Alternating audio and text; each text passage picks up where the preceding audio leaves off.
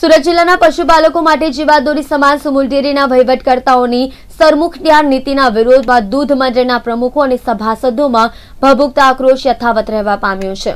સુરત જિલ્લામાં સુમુલ ડેરીમાં દૂધ ભરતી એંશી થી વધુ મંડળીઓના પ્રમુખોની એક સામા બીજી વખત મળેલી મિટિંગમાં જો તેમની સમસ્યાનું નિરાકરણ નહીં આવે, તો આગામી લાપન પાંચમના દિવસથી ડેરીમાં દૂધ બંધ કરી દેવાની ચીમકી ઉચ્ચારી હતી. સુમુલ ડેરી તાપી અને સુરત જિલ્લાની જીવાદોરી સમાન છે. તાપી અને સુરત જિલ્લાના મળીને કુલ્લે બે પોઈન્ટ પચાસ લાખ સભાસદો આ ડેરી પર નભે છે.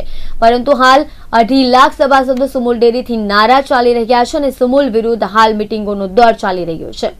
કુલ આઠ જેટલી માંગોને લઈને હાલ આ સભાસદો સુમુલ ડેરીથી નારાજ ચાલી રહ્યા છે.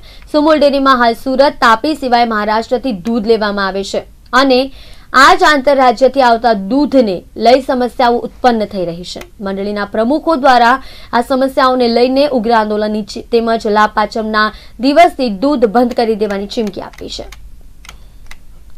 મારું નામ રાસિંગભાઈ જય ચૌધરી આ બેડદા મંડળીના પ્રમુખ તરીકે હું ત્રીસ વર્ષથી સેવા બજાવું છું.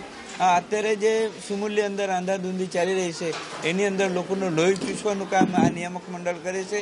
અને જો આ નિયામક મંડળને સભાનતામાં ન લાવીશું અને સારી રીતે સભાસદોને દૂધના ભાવમાં એ લોકો ન આપે, તો અમે દૂધ બંધ કરવાની પણ ધમકી શું પણ કાર્ય કરીને બતાવીશું.